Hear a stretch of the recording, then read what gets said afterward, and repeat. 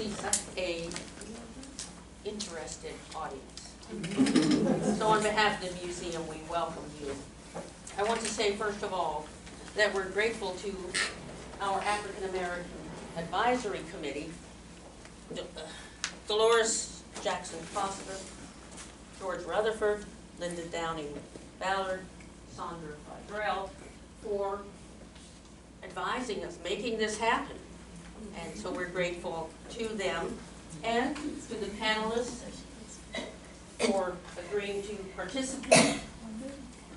And we invite you, and we invite you later, if you have time, to go to the gallery to see some exhibits. We've made some strides in recent years in making our exhibits more inclusive of the diver- diversity of Jefferson County.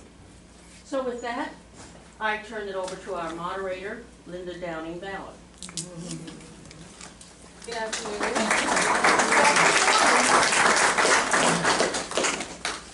The purpose of the program is to learn from the panelists and members of the audience about the experiences of the African American women here in Jefferson County from the nineteen thirties to the nineteen sixties. And we're grateful that they were willing to participate. And each panelist will talk about the area of Jefferson County that they represent. And so we'll start. Um, My name is Brenda Branson. I'm going to speak about the experiences in Shepherdstown, West Virginia, um, the greatest town in Jefferson County. And I lived on the west end of Shepherdstown. Excuse me, just a minute. I need to get the mic. It's right there.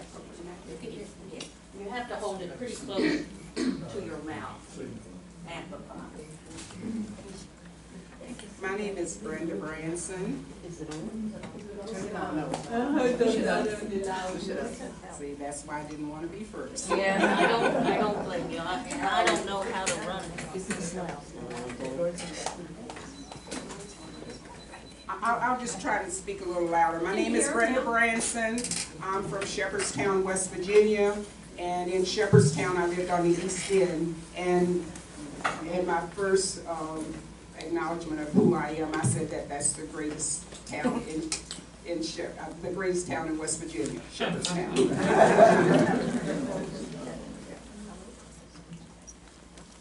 Uh, Good afternoon. My name is Janet Robinson Jeffries. Close your My name is Janet Robinson Jeffries. I lived in rural Jefferson County between Charlestown and Rippon. And I'm the product of a tenant farmer. Good afternoon. My name is Helen Dolores Jackson Foster. Hmm. Helen is my first name. I was born and raised in the towns of Bolivar, Harpers Ferry, West Virginia. Good afternoon. My name is Alice White Hunter, born and raised in the village of Mount Pleasant, Jefferson County, West Virginia, the metropolitan part.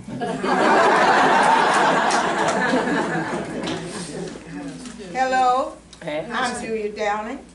I was born in 1928. I'm here to represent Charlestown. I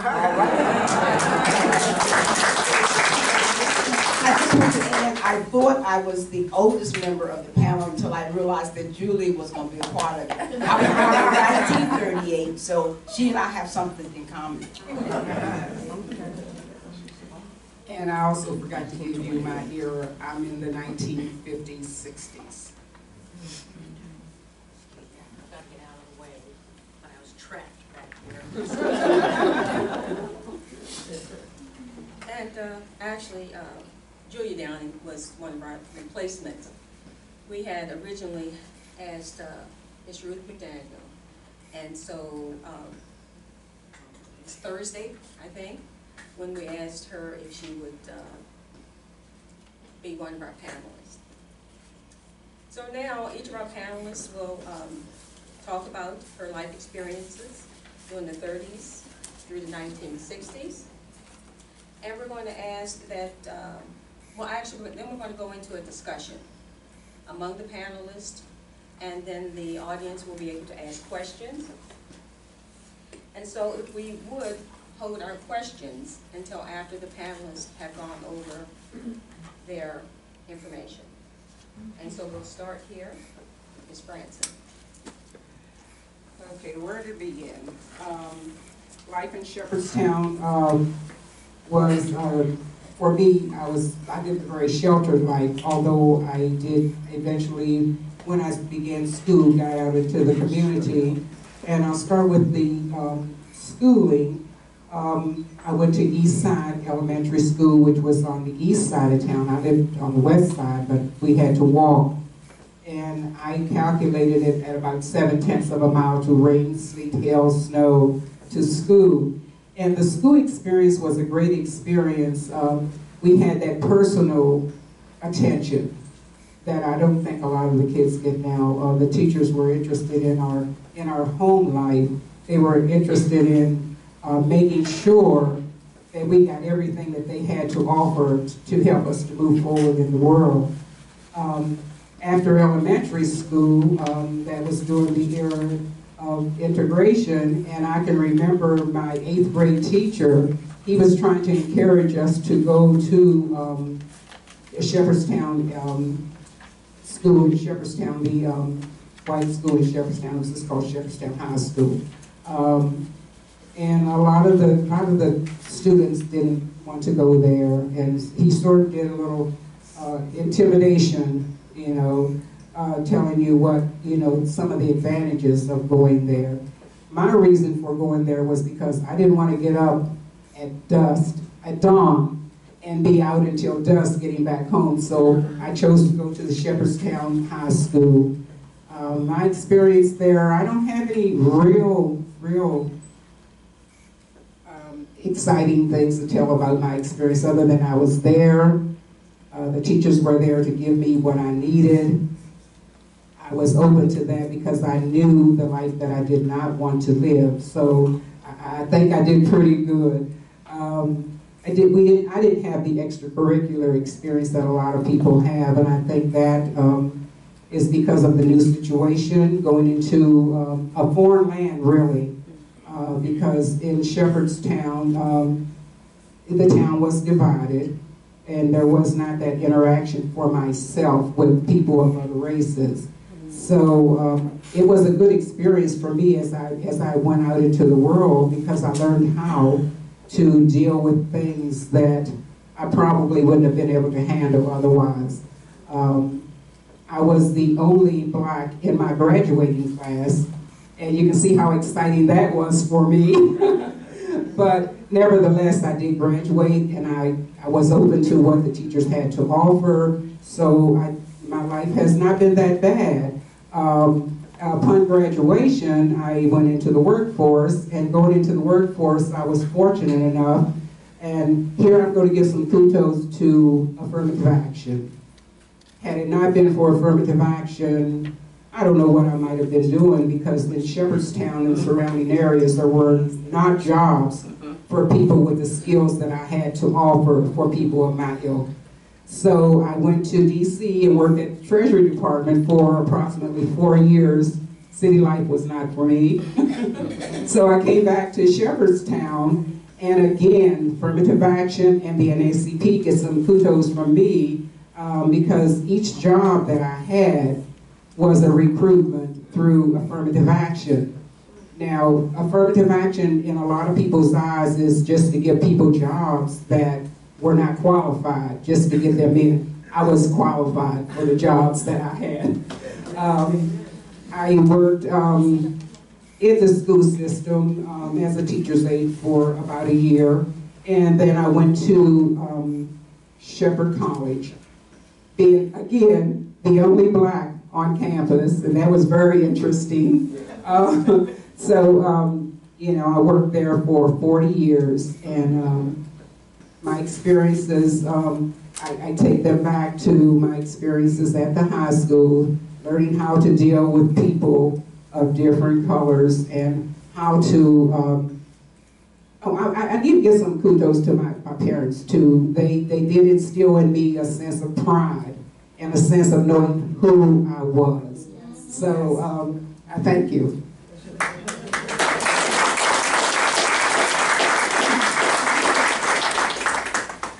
Where did I, where did I live?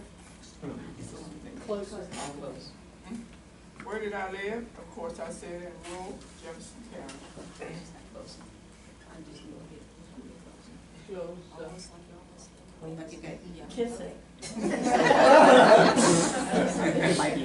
Like I said, I lived in rural Jefferson County. Where did I work for various houses in that area, such as cleaning, cooking, and that type of thing. Where did I shop in Jefferson County? At that time, every store that you ever needed anything out of was in Charlestown, West Virginia, on Main Street. I mm-hmm. mean, grocery stores, clothing stores, furniture stores, anything you needed, you did not have to go any further than just than Charlestown. Where did I go to school? I went to school at the Eagle Avenue and Page Jackson School. And I did, I did not graduate from Page Jackson, but I went on to do a GED out of a school out of Chicago, Illinois. I went to church at Savannah Baptist Church in Rippon. I'll always know it as Savannah Baptist Church. Um, my grandparents bought that land for the church to be built on. And my mother lived at the, in a house that was right next door to it. Whether I own or rent, being a tenant farmer's child, you do not own. You live in. Uh, they own the house. And I hope somebody asks me some more questions about that. Um, what kind of recreation? We made our own recreation with the kids the white kids in the neighborhood. We didn't know the difference between white and black, because we all were equal. No matter if you live on a farm out there, out there now called Huntfield, or you lived at one over on the other side of the road. Because we had people that was kin to us, like Reba Mickey. Uh, she was a neighbor. We had a lot of bakers and different groups of white people, but we never related to each other as far as race what kind of recreation, we made our own recreation. I mean, if we had a game to play, and like I said, in the wintertime, people used to laugh at us because we didn't have sleds. What we did was we took a scoop shovel, cut the handle off of it, and slide down the, hill.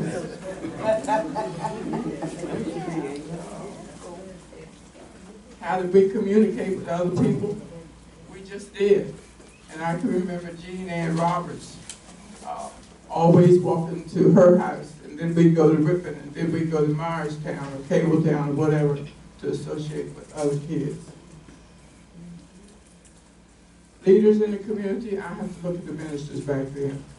The ministers had a voice. And the ministers in my life was Rhodey Butler and uh, Thomas Grant, who were pastors at the Savannah Baptist Church. Those people back in the day had an interest in you and everybody in your family. Nowadays, I think that's lost.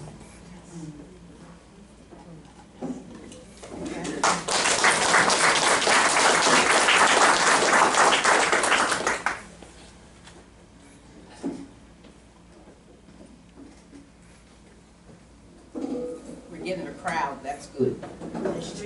It's, there's chairs in the front in case you're not too afraid to sit in the front. You come to the front. So, so we'll hold you forward. That's church.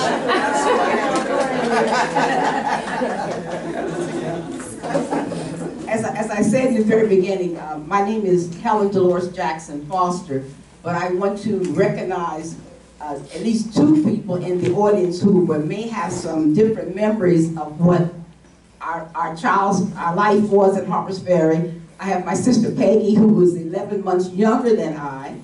Peggy, raise your hand, because she probably is going to yell when I say something wrong. and then I have my sister Lorraine, who was a younger sister who, who didn't necessarily live the same, the same era that I lived in. However, she was in the household with me. And I have my, my niece, Dr. Marla McRae, who is the uh, daughter of my late sister Linda, who has heard some of these stories from time to time. So Marla, in case I get bored, boring, just nod, that's okay. Uh, The first part of my life, uh, I would like to tell you about had to do with what my parents told me.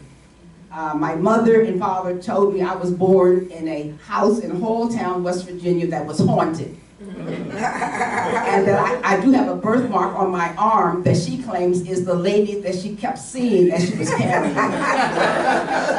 And we moved from Halltown to Bolivar Heights.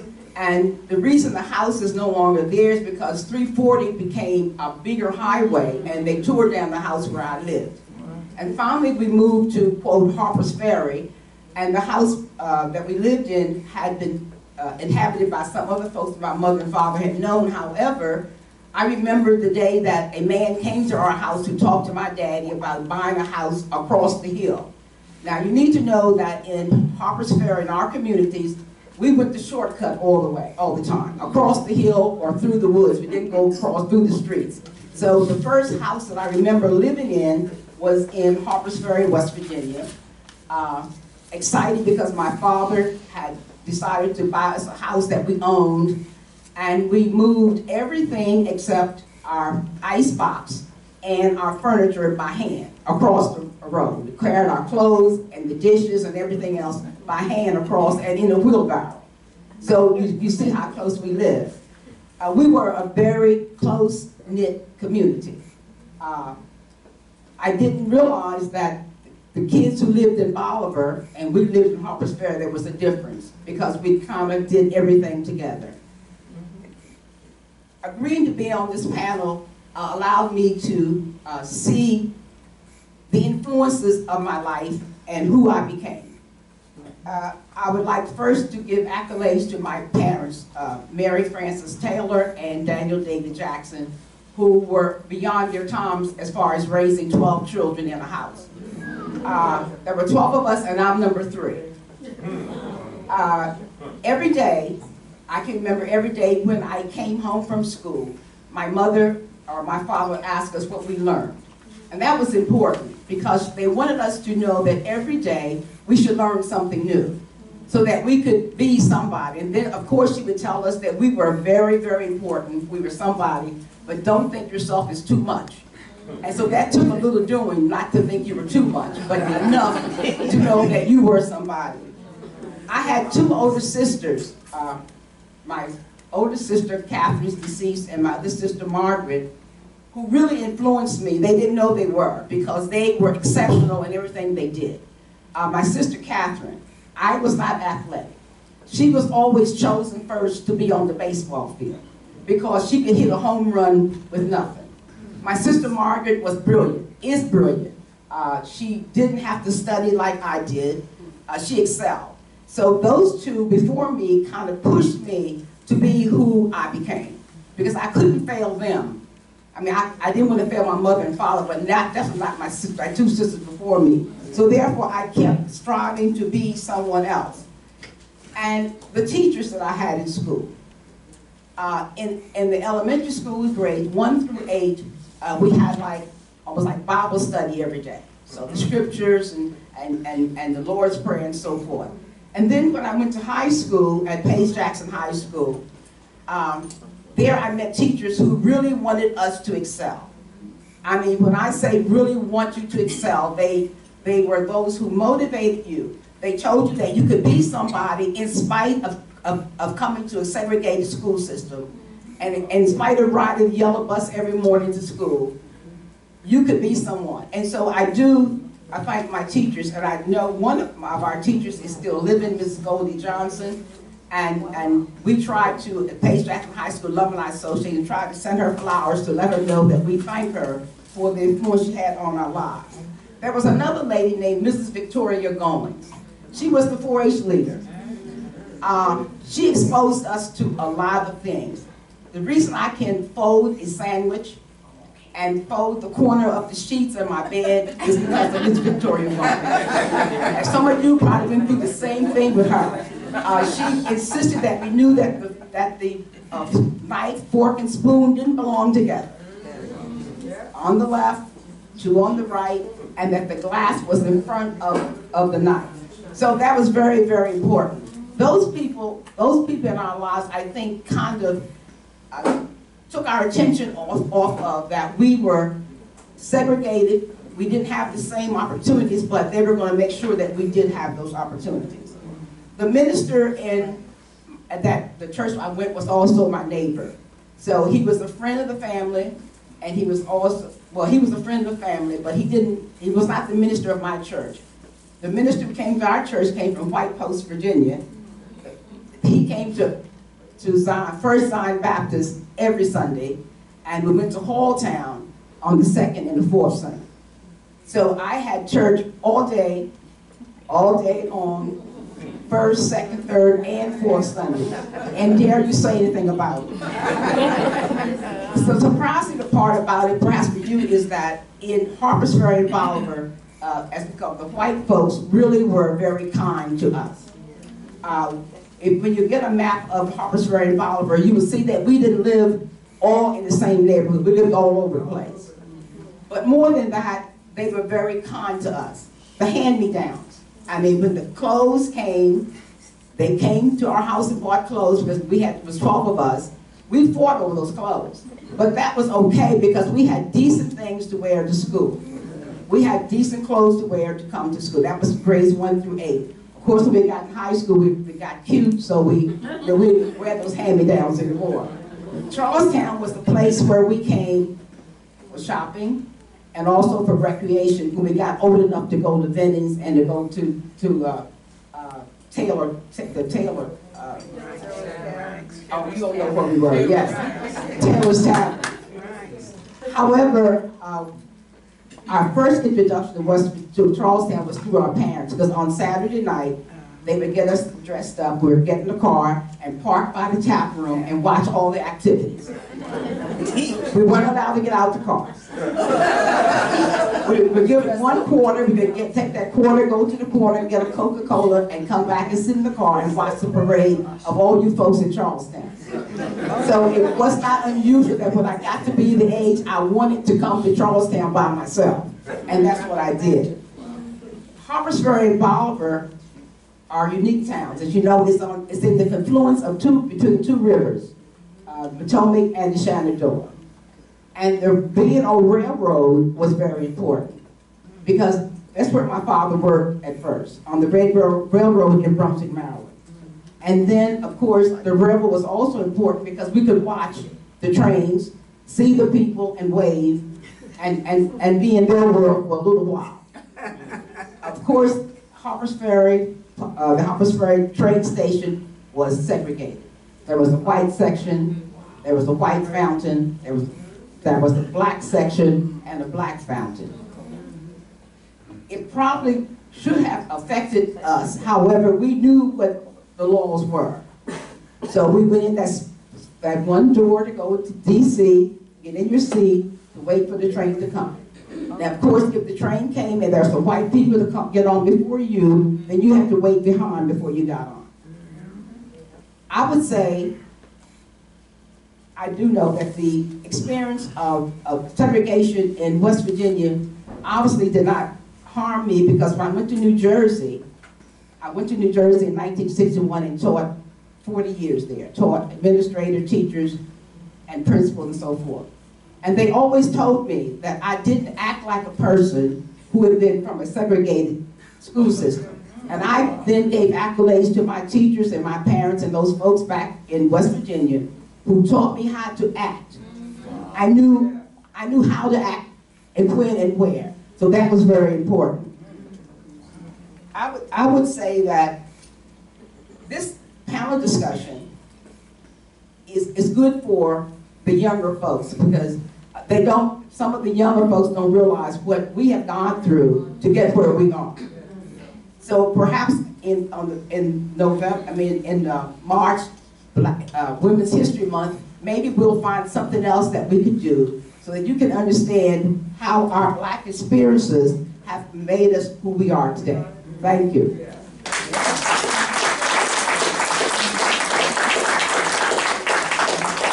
As I said before, I came from a small community, and believe it or not, here is the picture of my community. An African-American community, which was, we got all the information about it through oral history, through our families and so on. On this map, all of those places that are highlighted in yellow now belong to me. To God be the glory. I came from a family of six girls, from Jeanette Russ White to William Samuel White. And being in a family of six girls, you had hen-me-ups and hen-me-downs. If you, if you stayed skinny, you got hen-me-downs, but if you got, if you grew, you had to get hen-me-ups, which probably from your mother or somebody. My, my aunt used to make us dresses. She made us dresses out of the feed sacks that my father would bring home from the racetrack. And she designed them in such a way, we felt like we were really the it in the Now, Mount Pleasant, I wish I could tell you where it got its name when it was established. I do know from my ancestors that they said this whole community was established right after the Civil War. Because many people after the war, we became West Virginia, had no places to work. And they wanted to still work for the farms they had worked for before, like the Crims and the different people there. So therefore, they gave them all of this land. We had two churches in this community, Ebenezer Mount Calvary now, which is a church I pastor, and Simpson, it was an African American Episcopal church. Two churches in this small community, one school where my parent, my mother went to, not my father. My father was a city boy. So anyhow, uh, of all the people that I know that went to the school, I can only remember one person, Mr. Russell Roper, who told me that he went to that one-room school in Mount Pleasant. What did they do for a living? They gardened, they butchered, they did all kinds of stuff. And we, the children, called ourselves harvesters. Why? Because we picked up the apples, brought them home. We carried salt shakers in our pockets so that we could pick up cucumbers and radish and harvest the gardens that the people put out. Everybody was each other's caregivers. Everybody watched out for one another. There weren't a lot of cars in the neighborhood. There were very few cars and a few trucks, which we were allowed to ride on the back. You better not get on the back of a pickup truck now. But we were allowed to ride on the back of pickup trucks. It was strange, like I said, being in a family of all girls because my father was very strict. And he would come in from the racetrack and he would look around and we thought we had our little boyfriends, we thought. And he would say, I don't have any sons. And uh, they didn't get it at first and he would say again, I don't have any sons. The next thing I know, they would get their little hats and and they'd say, get out of Dodge. But it was, it was very interesting because being girls, I don't know what I would have done if we had a boy in our family. We did have one that passed away when he was very young. There was what we call the weekly bath. During the week, you had a wash basin. I know y'all don't want to talk about this kind of stuff. You had a wash basin. And so you did sponge baths.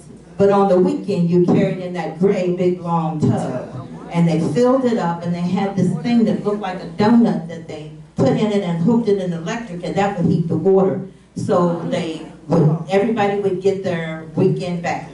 I don't know how we made it, but we were clean. To God the glory. And so, I mean, in Mount Pleasant, believe it or not, there were businesses. My uncle and aunt owned their own store. and they butchered and they cured the meat in the smokehouses and they made sausage and all those kind of things. My uncle made lawn furniture that he sold. We had our own Masonic lodge. The, the, the little, the little cornerstone is still there. It says Gideon Masonic Lodge. My mama told me that they even had a juke joint. So on Saturday night, things were happening in Mount Pleasant. There was a blacksmith shop, and there was a, there was, there was a, people had cisterns, but there was also a few hand dug wells that people had. And we all, there was no such thing as turn up the thermostat. You all had warm morning stoves. I have a sister in the audience, I hope she doesn't get embarrassed because I'm proud of the way I grew up. We had warm morning stoves that you used wood during the daytime. At night, you put in the coal because it was more expensive. And you, what you call banked it for the night. And in the morning, you shook it down and let it start breathing again. And that kept you warm in your houses and stuff. And it was amazing. It was amazing. When you came home from school, you took off your school clothes and put on your work clothes. I learned how to split wood, hang the clothes on the line, use an O-ringer washer. All those things were natural. They weren't something that, there was nobody in the house that got to do things. When you butchered, you made apple butter, you, you canned tomatoes and peaches and all that kind of stuff. And when springtime came, you went out and cut dry land cress, poke greens and all that kind of stuff. That kept us healthy. We ate. And for the doctors, you didn't go to know, doctor. You lined up, the six of you, and got cod liver oil.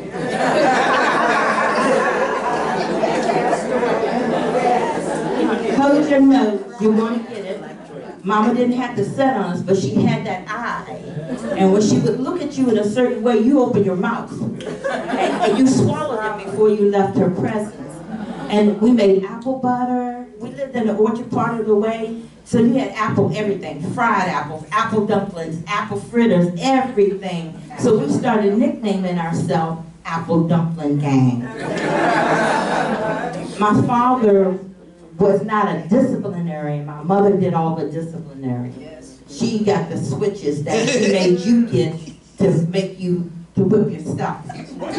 So you better bring one that's worthy, because if you brought one that broke, you got to go back and get oh, another. My dad believed in a type of punishment for if you weren't listening, he'd give you punishment. The punishments could be anything from the six white girls, because white was our last name, not our color, to go out on the front porch with your car coats on in the summertime, tied up and wave at the traffic. It wasn't, it wasn't called child abuse. It was the way you were disciplined because you knew better. You knew better. And to keep you extra warm at night, on those warm morning stoves, we had bricks. And you took the bricks and you put them on the stove, and when they got hot, some of y'all ain't gonna ever admit to none of this, but I'm proud. I ain't saying it loud, I'm and I'm proud. But uh, you wrapped them up in, in newspaper, and then you wrapped them in old blankets. You put them in the bottom of your bed, uh-huh. and they kept your feet warm during the night. Now, I'm probably the youngest of this whole group, but I believe I lived in the era that they lived in too, because nothing changed. It was all the same. You walked where you went to take the shortcut, you went up the railroad track. And, you know, you did everything. We would pick berries in a king cert can that had a handle on it and sell them back to the people's property that we had picked from. You had to learn to become an entrepreneur very early in your life. I'm serious, I mean, you, you did all of that stuff and it gave you a sense of somebody. Because when you heard the story of how all this land was given to your ancestors for free, for them to maintain it, right today, Mount Pleasant does not have a plot in the, in the clerk's office because all of the land was stepped off. You stepped it off. Those of us who had bought land later and had it surveyed, now we have plaques that go with it. Beforehand, there was this fence, this fence, this nail in this tree, this rock that was right here, all of those things. There's so much that I could tell you about me growing up, but I tell you what, I shall never forget. And to finish up, I'll say this. I tell those stories to my boys, and this is the response I get. Mom, y'all are po. and they would say, you keep saying those were the good old days. I said they were the good old days, and when you learn that you can't come in the house and turn my thermostat up and down when you want to, stand in my, open up my refrigerator and look till the temperature goes down, and throw away stuff that I paid good money for, you will have something to say about the good old days.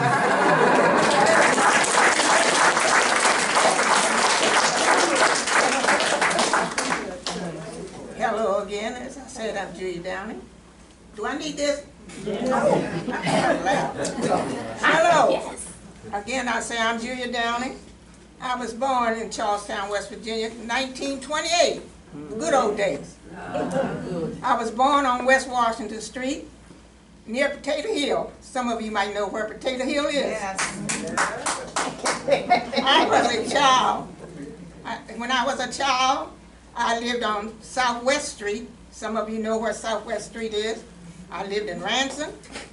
I lived on Big End and on Potato Hill. I don't like this thing. When I stayed in Markham, Virginia, where my mother was born, I used to walk to school with my Uncle Robert so that someone would babysit me while my mother would be at work.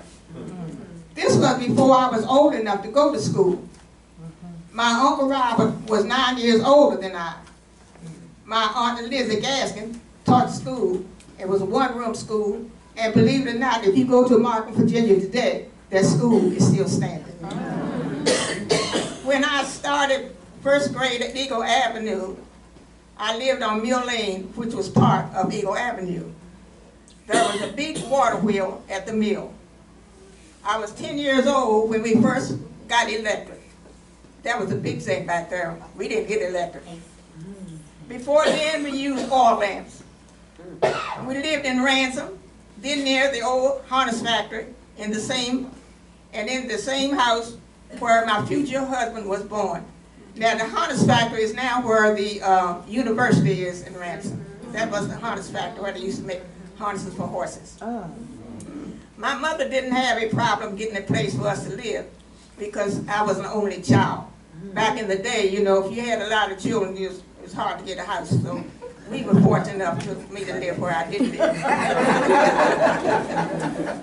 I walked to Eagle Avenue School from Big End. Sometimes my teacher, Sorrel Craven, would rub my hands because they would be so cold.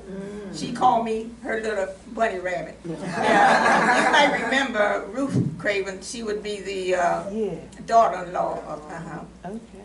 I was able to spend summers at my Uncle Carl's in Virginia, or half of the summer with my uncles in Washington, D.C.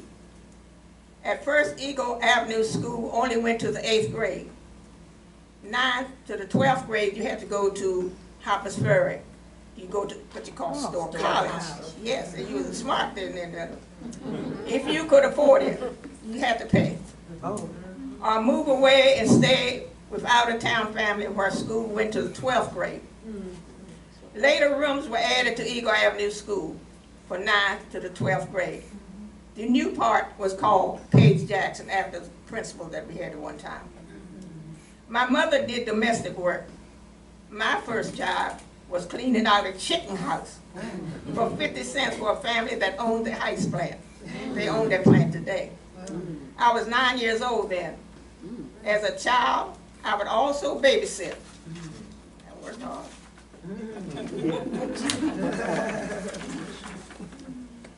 As children, we would go to the movies, which was segregated. We would go upstairs, and the white would be downstairs. The opera house was the opposite. Opera House right today. Go, we go, uh, downstairs and they go upstairs. It's just the opposite. The Opera House would have vaudeville shows. I don't know if any of y'all, any of y'all know, old enough to know what a vaudeville show is. Mm-hmm. Oh, there was a day. That was the day. People from our communities would, would perform like Buck Jackson and his, he had a band. He lived out in Ranson. A lady named Celestine Wood, she would sing, and a man named P.B. Johnson, he would be the comedian. I could drive as a young woman and would take neighbors to places like doctor's appointments. The men worked. From the late 1940s until the 50s and 60s, I alone with my husband raised our five children and the two nephews of my deceased sister-in-law. I catered with my mother. Later, I worked at the clubhouse at the racetrack, at Legacy Department Store, and at Newberry's. Yeah. My last job was at courthouse. Most of you remember me, he the town crier. Uh-huh. That's, that's me, town crier. I moved into my new home on Potato Hill in 1960 mm-hmm. when I was 32. My husband was 35. I have lived in my home ever since. Mm-hmm. Now, that home that I live in, my husband built that. Yes. Mm-hmm. I, I had a, uh, what you call Washington Post. You used to get the blueprints out the Washington Post. Mm-hmm. And every Sunday, we would look at them. Mm-hmm. And I picked out one. Mm-hmm. He said, you pick it, I'll build it. Oh. So, one word led to another. I couldn't drive a car. I say, well, if you build a house, I'll drive a car. So that's the way that went. He built the house and I learned how to drive a car. And uh, I'm in that house right today. Let's see, yeah. I was, I was den mother for Boy Scouts for 40, uh, Troop 42. I had the first integrated troop in Charles Town, the first one for Boy Scouts. We met at our home. I was a den mother for eight years. I was the only woman town crier to open and close election at the courthouse. I continued to be a member of the Eastern Stars, Deborah Chapter number 38, American Legion Auxiliary Unit 102, and served on committees and had various offices at my church. I also reached my goal of owning two racehorses.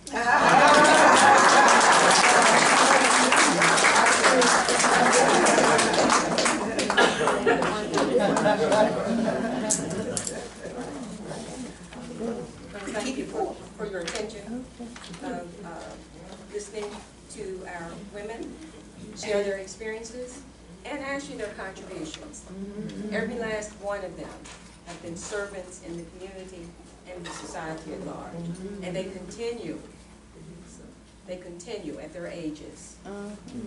to work in the community. And now we will open up discussion among the panelists as well as questions from the audience. Oh, look at the hands going. My name is Pamela, and um, Alice Hunter is my pastor. And I'm not from uh, this area, but I just moved up here uh, last year. But I, I moved up here from Frederick, but I was driving from Frederick to up here for the last eight years going to church. But um, uh, as um, the, the lady in the yellow was talking about, and, and Pastor too was talking about the wood um, and my father got cussed me when I was young, and we moved to my grandmother's house in Jessup, and my grandmother had a wood stove.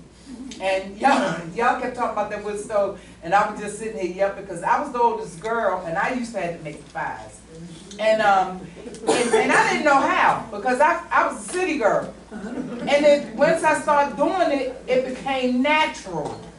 You know what I mean? So my father would chop the wood and leave all the wood on the porch. And so I would put the paper down, and when he would show me what the kindling was, then I put the kindling, in there, and I and then I put the lighter logs in and lighted. Once the fire got up, then I started throwing them heavy jokers in there. And then he was saying about the coal. My father would go to Baltimore and get the coal.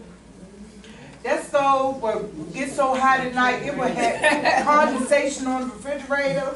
We would have to get the pans, put all in the hot because it was hot. And this was in the seventies.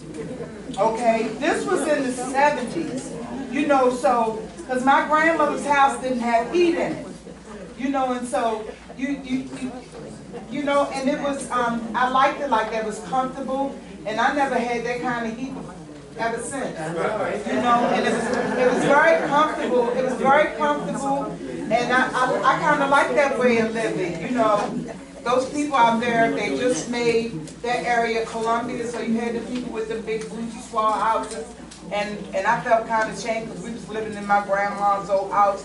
But I tell you what, they was coming in my, our house every morning, waiting for that school bus, getting that, getting that heat. But, um, I love that way of life, and, um, it's so comforting, and so, um, the humbleness of it.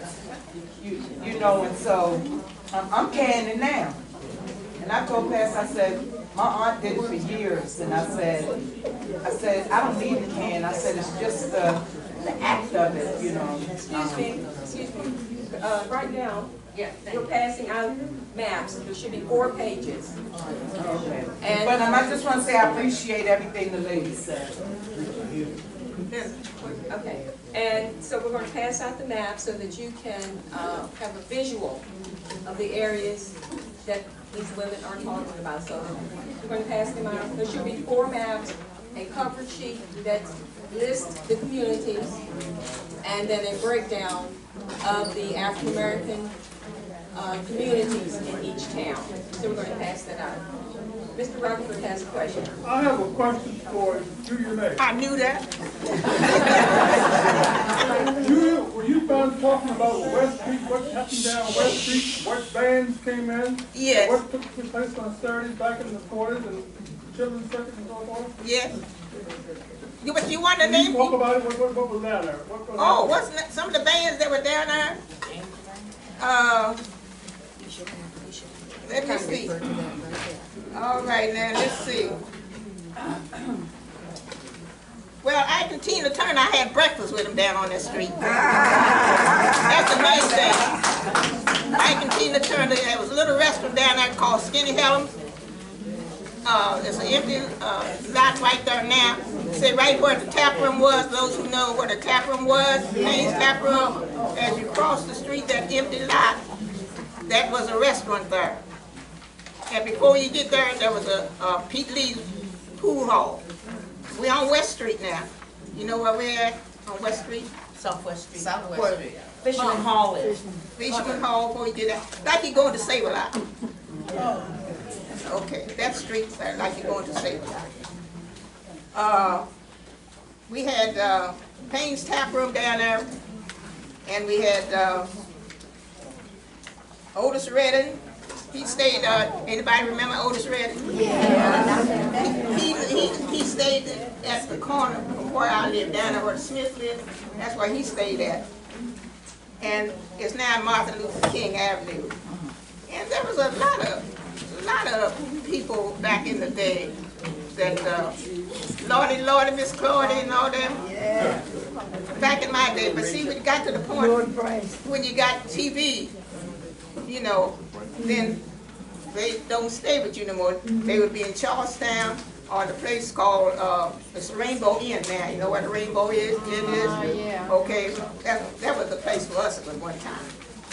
And so, they got, so that when they get to DC and go get on TV, then you couldn't afford them anymore, you see. Once they got to TV, but we had Lord and Miss Claudia, Tina, Piper, Tina Turner, you name them, we had, and I danced with Fats Domino. That made my day, I danced with Fats Domino, and he sang to me, I got my thrill, I'm Bluebird, I'm Bluebird. Oh, those were the days. Those were the days. Yeah, you you have to pay you have to pay them. Did that answer you? Miss Downey. Yeah. My question to you is, you said you was the um, crier at the courthouse? Yeah. Could you demonstrate to us? uh,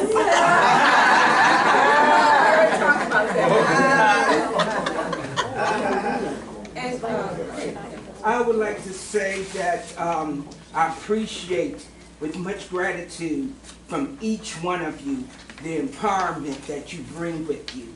And that God must have been first in all of your upbringing. Yes. With all that being said, during the period of change in the society, what stood out as the most significant change compared to I'm gonna ask Alice, excuse me, who's in school, uh, Pastor Hunter, if she would start with the transition from going to, from a segregated school to an integrated school, and then we'll be responsible. Um, that was hard for me because if I had, I was at Page Jackson and when the integration took place, or while I was away during the summertime, I came back, my school was closed. Why did it hurt? If we had stayed at Page Jackson, I would have been the valedictorian or salutatorian of my class. So when we integrated, that put you way to the back of the line, but I didn't stop trying to learn. I, I would like to, um, help you to understand what it was like to have friends in the neighborhood who were white. You went to Grandview Elementary School, grades one through eight. But when we went to high school, we rode a yellow bus, and they met us when the bus got back to Harper's Ferry. Mm-hmm. That's the kind of friendships we had. They understood that they went to separate schools, but they were still our friends. But my education was K through, my K, first grade in the sandbox, through eight at Grandview Elementary School, nine through twelve at Page Jackson High School, and in nineteen fifty-five, the year I graduated high school, remember the Supreme Court decision was in nineteen fifty-four. Storer College, which would have been the college that I would have attended, closed. It took my two sisters, Catherine and Margaret, were at Storer College, and when I started school in nineteen fifty-five at Shepherd College, now University, the three of us went to, we commuted together. The three of us went together. And that was so much different. Uh, you need to understand that, uh, when we went to Shepherd, they didn't want us. They told us to go back to our own schools, but we had no schools to go back to. So there was a lot of, of, of mistreatment, but uh, George will probably remember, they had the minstrel shows every year, the Black Faces and uh, Al Jolson and so forth and so on. And they didn't think anything about that until we went to the president and told him how it made us feel. And then he stopped it and they hated him. uh, because he stopped their, their, their reason to earn money for the fraternities. And also, like, we could not join the sorority.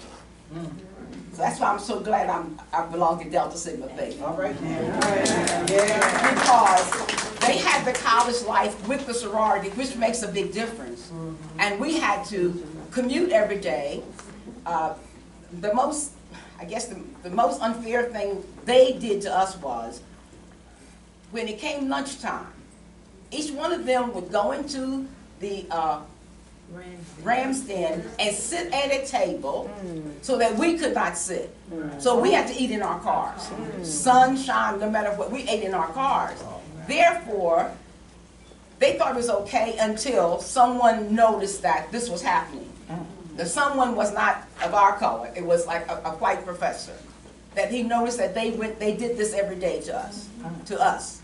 So I think George might have been the first group of people to go to, to, to Shepherd, the first year, fifty-four, and we came, no, he went to fifty-five too.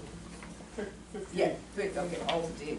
But, um, you know, there, there were like, I guess there were waves of us coming. You know, the first wave came like in, like in fifty-four when Charles Jackson went, and then in fifty-five was a big wave of people come. And finally, after enough blacks came onto the campus, we began, we began to have some equality.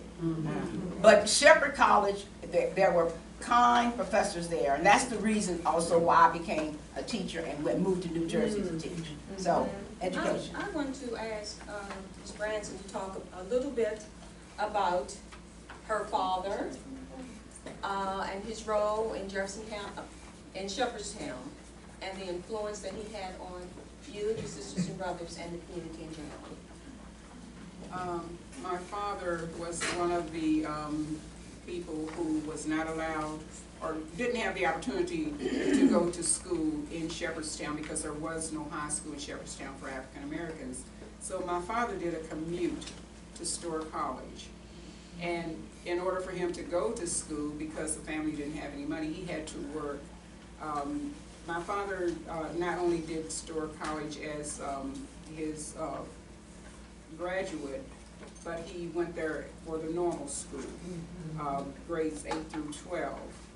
So he, he traveled up and down the road for a lot of years. But, um, he, um, he was a hard worker and he was a very intelligent man. Um, he had a desire to help people. So when he graduated from college, of course, um, again, it was hard finding teaching positions. So he, he, he graduated, uh, his, his, his degree was in teaching, secondary education. So he went to Luray, Virginia, and he worked there for only a year. No, he worked there for a couple years. The family moved with him and lived there one year, and then he came back to Shepherdstown. And coming back to Shepherdstown again, he did not go into the teaching profession because of the availability. So he worked at the VA Center in Martinsburg until his retirement. But during his, um, during his career, his, um, his life, he was, um, very interested in the welfare of other people, of other African Americans, especially in the area of employment. So he was instrumental in negotiating, getting, um, African Americans employed at General Motors. He was also someone who was interested in politics. So he served um, on the Shepherdstown Council for 26 years. However, during, during one, one, during that period, there was a break uh, where he was not a part of the council. He uh, wanted to be the recorder. You know, the recorder is next to the mayor. Serving all those years, he did not, he was not voted in as a recorder. But he was very instrumental, a lot of people don't know, in being the man behind the scenes in helping the mayors. And I think if you talk to any of the former mayors of Shepherdstown, they will tell you how instrumental he was in helping them. He was parliamentarian, so he, he stayed by the rules. He used uh, Robert's Rule of Order. He was, um, uh, I mean, he was a firm believer in that. So uh, he was very instrumental in what I did uh, in persevering, even and I, I see it as not an adversity now, but then being the only African American um, in my class to graduate, it was, um, and I and I try to tell uh, children now when I speak to them and and they don't want to learn, I said, you know, the teacher is there to teach you. It doesn't matter whether they show an interest in you at all. They're there to teach. If they're giving it to someone else, you can absorb that information, which is what I did because um, if you can imagine being in a classroom and feeling like you're not there. I don't know how else to put that, but I knew, I knew what I did not want to do. And in order to at least attempt to do some things that I wanted to do, I had to be able to uh, communicate. And I had to have some knowledge of what I wanted to do. I have one more question before I get to, to ask Mrs. Jeffries. Uh, what influence did her childhood and, uh, life experiences in the community have on her in becoming an active, long-term member in the NAACP? Well, like I said, um, my father was a tenant farmer. You know what that is? So he never owned and he never rented. I think my mother and father taught me the importance of moving forward, the basic things in life. Because when I moved to town, the only thing that I was able to do was kitchen work, whether it be a home, in a home or in a restaurant. And that went on for a number of years. But my father was respected in the community, no matter what he did, where he went. And of course, my mother was one person who could do anything because of my father's name. Because your name means a lot. Um, being a, a tenant farmer's daughter, we never had playtime. When we came home, we had to go to work. Before we went to school, we had to do work on the farm. And of course, when my dad got sick, we had to do work on the farm. If you didn't work on the farm, you could lose your house. And then, of course, when he died, we had to because nobody wanted to do the farm work. Now, my oldest brother, he went to the orchard. My youngest brother, he went with Dr. Kaiser. My sister, she went and worked in a restaurant. Did all those things, but if you don't have people in your family who can work on a farm, you lose your housing. Wow. And of course, we moved to town. And my mother and I, of course, searched out places to work. But the amazing things was going to work at Leggett's. Mm-hmm. I was determined to work in a store. And I got there, and the first thing they gave me was a job in the back room. And I kept saying, Lord, this can't last for so long. But you hang in there. That's what my mother and father told me, you hang in there in these situations. And I hung in there, and finally they hired me as a salesperson. And I stayed with them until they closed, and that was in seventy-three. Julia, I think, and some of them decided they were getting out ahead of time. I hung in there, and when I, when the doors closed on that Saturday, Monday I started looking for a job, and I had a job on Wednesday. And I went to work at Herbal Graphics and stayed there for thirty years. So you have to have determination. You have to. And of course, I can relate to what, what they're saying. Because when we were young, like I said, it was working before we left, and it's work when we got home. But in the summer, Mm. Mm. it was planting time, weeding time, plucking up, mm. canning, you name it, we had to do it. Getting coal, getting wood. We had to do all these things to assist our mother, you know, because a tenant farmer works twenty-four seven. You know, you don't have no time for yourself, you know, so we had to pick up slack to help our mother, And I can remember butchering time, Oh, boy. they canned everything. Everything. They canned the sausage, I can remember the tenderloin, every vegetable that you ever grew went into a jar. It went into a jar because we didn't have the opportunity to come to town like you do today to get stuff. If you didn't can it, you would be lost in the wild. Only thing I can remember my mother coming to town for was maybe sugar. Because we made our own butter, you know, we did have flour, they did, did give us flour. But, uh, you know, the lard, all that stuff, you got that at butchering time, you know. And as far as transportation, we rode the Greyhound bus. There used to be a Greyhound bus that came from Winchester to Berryville to Charles Town. My mother and I would get on the bus, of course, go to the back, come in town and get our groceries, and get back on the bus, and go to the back, and then when we got to our stop, we get off and we came home. A lot of people don't realize that was a Greyhound bus back then. That was in, in the early fifties. Yeah. NAACP, how did you start? How do I, how did I start? NAACP. Mr. Damage.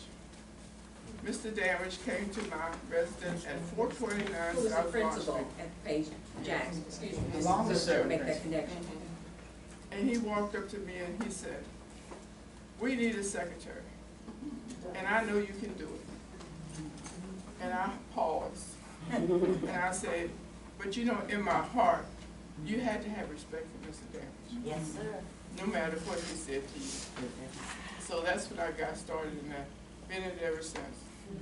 Done all kinds, all kinds of classes, did a lot of traveling, and I've enjoyed it. You can give them an idea of how many years, when you said ever since, how long have you been a member? Fifty plus years.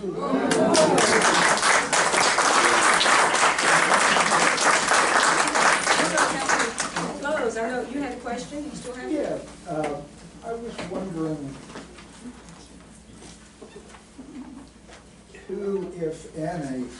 anybody had, I guess during integration, uh, much if any, many if any, teachers that, that they considered really knowledgeable and empathetic. I read recently in a, uh, an education magazine, I'm not an educator, but my daughter is, and, uh, and I understand that, uh, uh, white racists defeated some of the integration by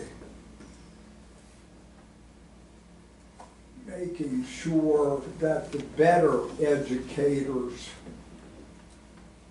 were, that educators that were more sensitive to African Americans were kind of left go from the schools, especially those with power principles and that kind of thing, were left go during integration. Uh, African Americans who during segregation, again, segregated, but they, they, their teachers were sensitive to them. And, and Yes. if that makes any sense, did things kind of reverse Yes, themselves? yes, because my teachers in high school were from the South.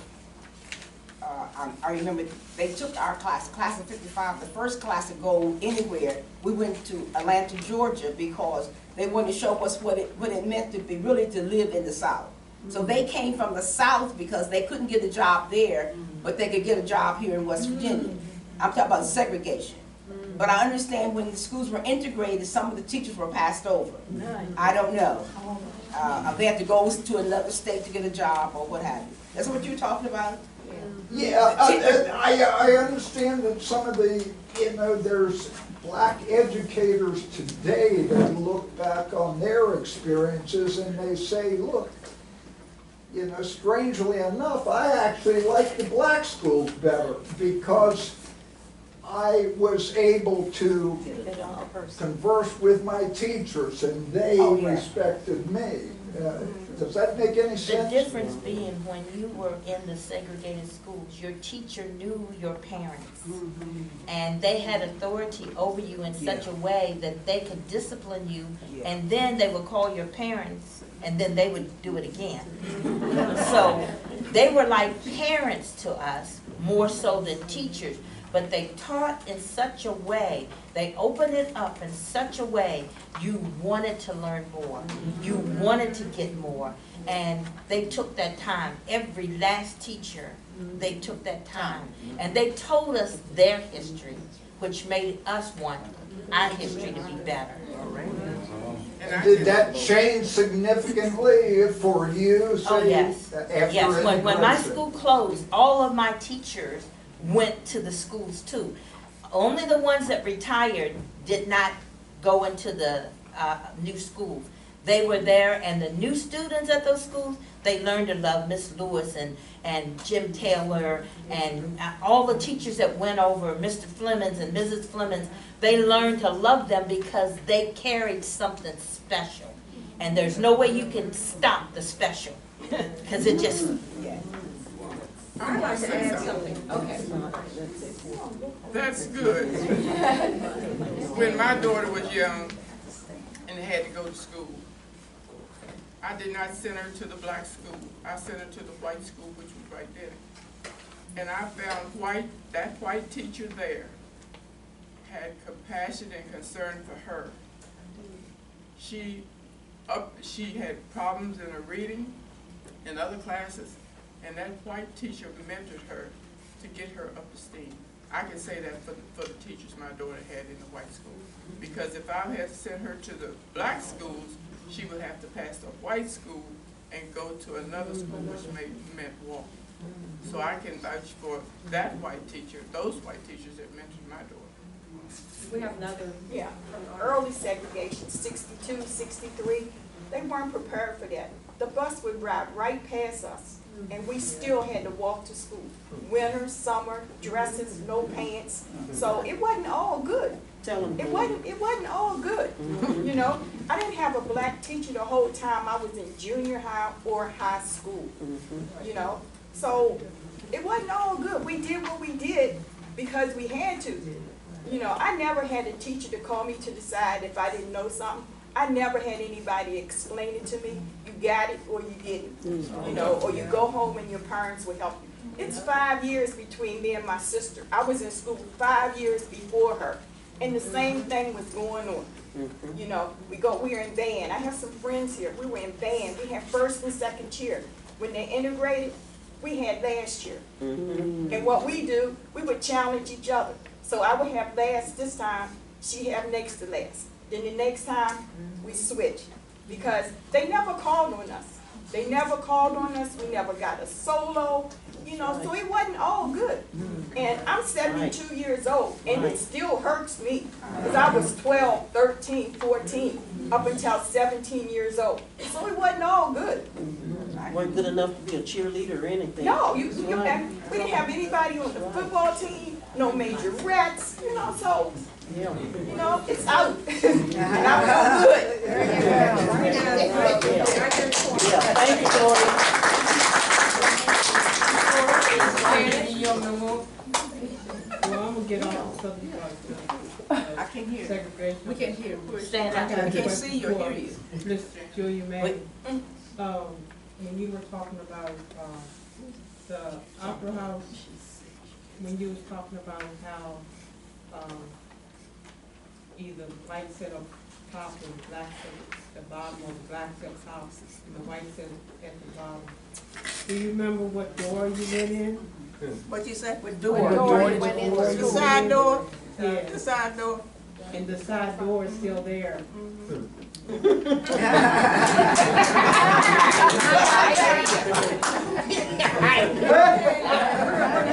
In this, there's two more questions, this will be it. Now, mine is not a question, so mine is pretty much a statement. I come from the north. I was raised in Philadelphia. A lot of the things that were said here, pretty much, we went through, we just didn't go through it the same degree. When they went and they segregated the schools, it was one of the most horrific things that I think the North had ever experienced. And there was a lot of brutality on the children that had to go through it. I was blessed enough to not have to experience it. And some of the hate that went on, went on amongst ourselves. Wherein, instead of appreciating one another, we fought one another. When I went to school, that was a time when they were starting to, one school hated the girls in the other school, mm-hmm. and they wanted to kill them, or they wanted to cut up their feet, cut up their hair, just because their hair was a certain way, mm-hmm. or their skin color was a certain way. So segregation has been all around. I did experience for myself, my grandmother, one of the most horrific things that I've ever met. And yet I didn't understand it then. I know it now because we went into a restaurant and my grandmother wanted to be served. Now, my grandmother is one of those light, bright, nearly white people. She always thought of herself as white. In hmm. fact, I grew up believing she was white until she passed away. And her birth certificate said African American. Oh, when we went in the restaurant, she had the good hair and everything. So there was no reason for anyone to suspect that she was not who she thought she was. But yet, they would not serve her. They would not serve her. And I didn't understand it. And yet, she was dressed, as my grandmother believed in Lord & Taylor's and all the other high sophisticated, um, stores. And yet, we did not serve her. Well, she did manage to get that lady's job because it was at a time where there was not supposed to be segregation. But I said all that to say this, I appreciate what I learned here, because when I came here, I learned a lot about African Americans and the history of West Virginia, especially where we are, in Mount Pleasant, and all the things that have been established in Mount Pleasant. Thank you. I said that, uh,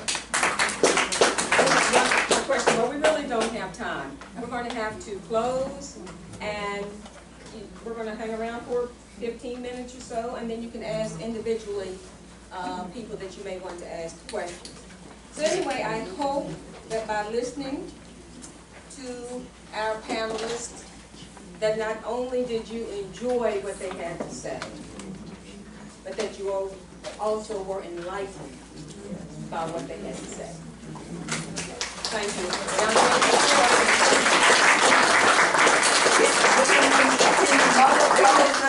Wait a minute, no, Jane, Jane, Jane has those. I I just, I just wanted to reiterate that thank you for coming. Those of you who want to leave can, and uh, those who want to stay can for uh, a short time, or some people are exhausted.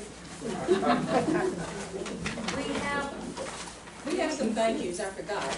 yes, Lori Uh, Simmons. Lori Simmons, who did the maps, and also we need to thank Jane and Sarah Yes. for their work.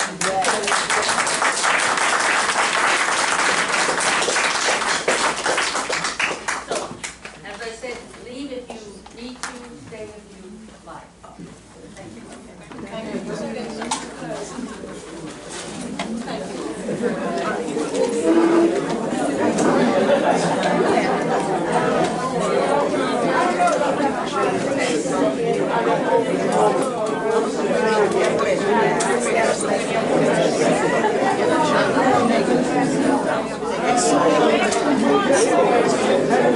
you make.